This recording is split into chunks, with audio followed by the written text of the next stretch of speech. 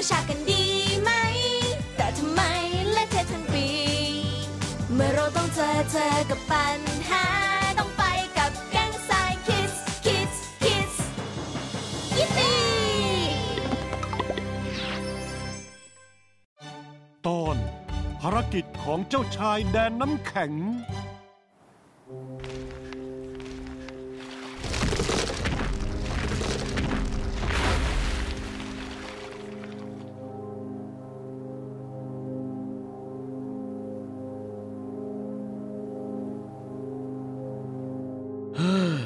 นับวันอากาศยิ่งแปรปรวนมาเรื่อยๆเลยนะเนี่ย อืมดื่มน้ำให้ใจเย็นก่อนเถอะท่านพี่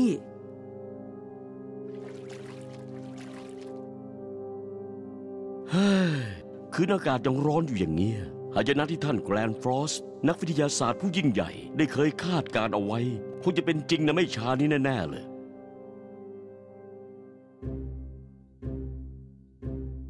พลลูกคือความหวังเดียวที่จะหยุดเหตุการณ์เลวร้าย ที่กำลังเกิดขึ้นกับอาณาจักรของเราได้หืมลูกเหรอครับ ในฐานะเจ้าชาย รัชทายาทแห่งอาณาจักรน้ำแข็ง ลูกจะต้องเป็นผู้ไปนำบันทึกของท่านแกรนฟรอสต์อีกส่วนหนึ่งกลับมา เพราะความรู้ในบันทึกอีกส่วนนั้น จะไขความลับ และช่วยให้เรารับมือกับปัญหาที่เจออยู่นี้ได้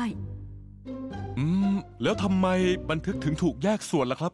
ก็เพราะความรู้เกี่ยวกับวิทยาศาสตร์ในบันทึก ช่วยให้เราเข้าใจโลกและจักรวาลได้ ท่านแกรนฟรอสเชื่อว่า ถ้าบันทึกเล่มนี้ตกไปอยู่ในมือของคนดี แล้วนำความรู้ไปใช้ให้เป็นประโยชน์ ก็จะเกิดคุณอนันต์ แต่ถ้าหากว่ามีใครนำบันทึกนี้ไปใช้ในทางที่ไม่ดี โลกทั้งโลกก็อาจจะต้องเผชิญหน้ากับหายนะครั้งยิ่งใหญ่ เพราะฉะนั้นท่านแกรนฟรอสต์จึงได้แบ่งบันทึกออกเป็นสองส่วน ส่วนแรกก็อยู่ในมือของลูกสำหรับบันทึกอีกส่วน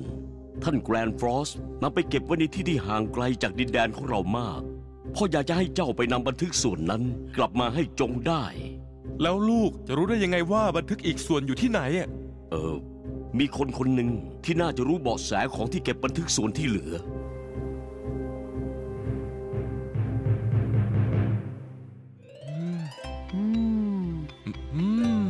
าจะทำบัญชีรายชื่อพืชและเก็บตัวอย่างให้ได้เยอะๆ เรามาแบ่งกลุ่มแล้วแยกกันไปทำดีกว่านะ อืม ก็ดีเหมือนกัน งั้นแบ่งเป็นสองกลุ่ม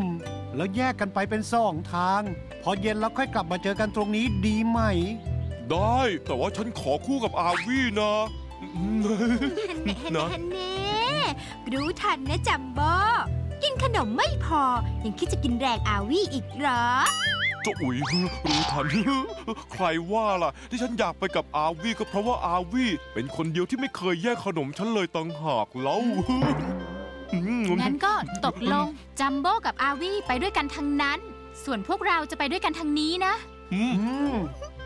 ตกลง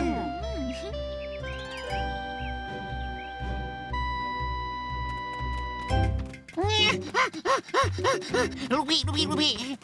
พวกมันมาเก็บตัวอย่างต้นไม้อะอืมหงุดหงิดเสียเส้น มีหวังพวกนั้นน่ะต้องไปบอกชาวบ้านเรื่องไม้มงคลของพวกเราว่า เป็นไม้กำมะลองแง่แง่ๆเลยอะ อืมก็อย่าปล่อยให้พวกมันกลับไปทำลายแผนการของเราได้สิฮะฮะอืม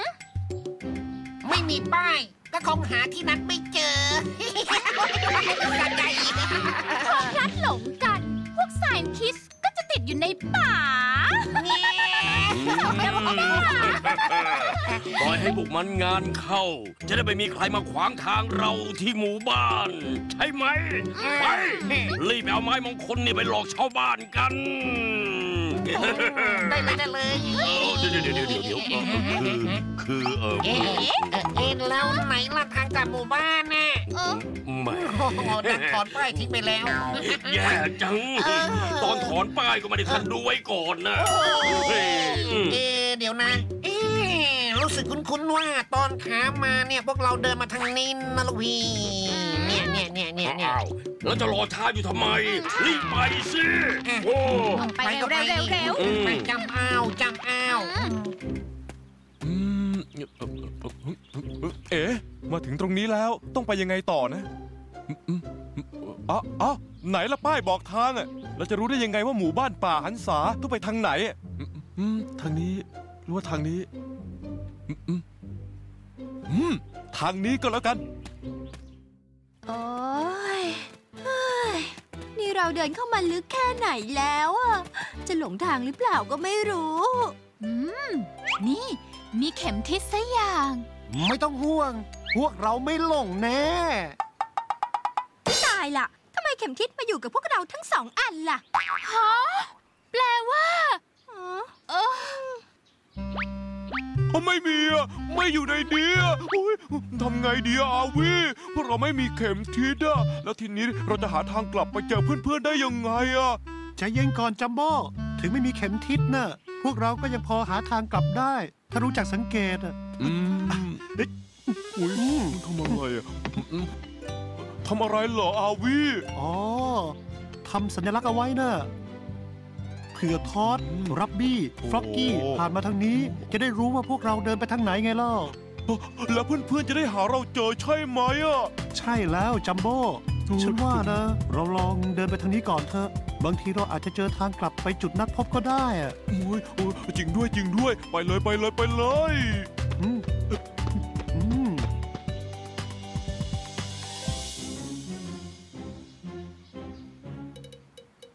โอ้ยอาวีนั่นสัญลักษณ์ที่นายทำไว้นี่นา โอ้ไม่ ไม่นะเฮ้ยถ้าหาทางออกไม่ได้ เราต้องอดตายติดแงกอยู่ในป่านี้เหรอเนี่ยเดี๋ยวก่อนจัมโบ้ยังไม่หมดหวังหรอก ถ้าหากว่าเราเดินตามลำธารไปเรื่อยๆนะ อาจจะมีบ้านคนอยู่ เราจะได้ขอความช่วยเหลือจากเขาได้ไงล่ะ ไหนไหนลำธารอยู่ไหน ตรงไหน ไหน ตรงไหนโอ้แต่ว่าตรงนี้ไม่มีลำธารนี่นา แล้วเราจะทำยังไงต่อละอาวีอุ้ยอุ้ยเราเดินขึ้นที่สูง และสังเกตดูว่าเชิงเขาอยู่ตรงไหน จากนั้นเราก็ยึดแนวเขานั้นเป็นหลัก เพราะที่สุดเชิงเขามักจะมีลำธารอยู่เสมอนะจัมโบ้อ้าอ้าวจัมโบ้ จะจะจะจะขอสวมวิญญาณลิงนะวันนี้จะจะโอ้ยน่ากินจังเลยมะม่วงจ๋าจัมโบ้ทำอะไรนะเราต้องรีบไปกันแล้วนะมุยเดี๋ยวนะ เดี๋ยวเดี๋ยวขอตุนเสบียงอีกเดี๋ยวหนึ่งนะย่าย่าฮะจัมโบ้ระวังวายย่าเฮ้ยช่วยด้วยอาวีช่วยด้วยอาวี โอ้โหโอ้โหโอ้อาวีช่วยด้วยเฮ้ยเอ้ยอะจับไว้แน่ๆนะจัมโบ้จับไว้โอ้โหโอ้โหอาวีช่วยด้วยอาวีอะอะเดี๋ยวเฮ้ยอาวีโอ้โอ้ไม่เดี๋ยวฮะอุ้ยเดี๋ยวอุ้ย ก่อนแน่นๆนะ ฉันจะพาพวกนายขึ้นมาเอง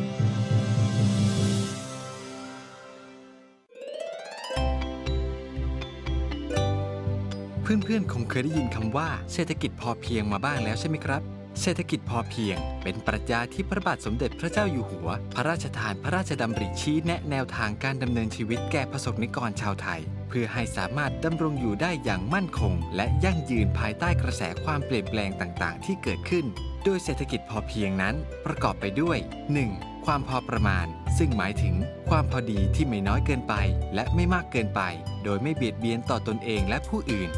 2. ความมีเหตุผล หมายถึง การตัดสินใจเกี่ยวกับระดับความพอเพียงนั้น จะต้องพิจารณาอย่างมีเหตุผลและรอบคอบ 3. ภูมิคุ้มกัน หมายถึง การเตรียมตัวให้พร้อมสำหรับผลกระทบ และการเปลี่ยนแปลงในด้านต่างๆ ที่จะเกิดขึ้น แนวคิดเกี่ยวกับเศรษฐกิจพอเพียง ยังมีอีกนะครับ วันนี้ผมต้องขอตัวไปก่อน พบกันใหม่คราวหน้า สวัสดีครับ สนับสนุนข้อมูลโดย สสวท